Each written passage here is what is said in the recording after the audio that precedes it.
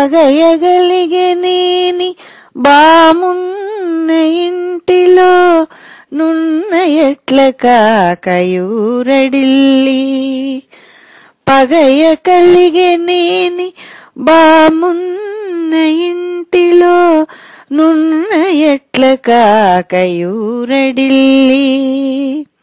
యుండు నెట్లు చిత్తమొక మాటుగావున యుండు ఉండునెట్లు చిత్తమొక మాటుగావున వలవదధిక దీర్ఘ వైరవృత్తి. భావం.